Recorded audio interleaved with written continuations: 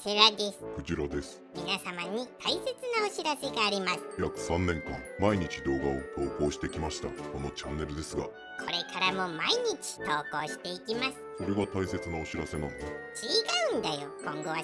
うん。ショートに上げていくから。ショート？YouTube ショートってやつだよ。YouTube ショートなのよ。なるほど。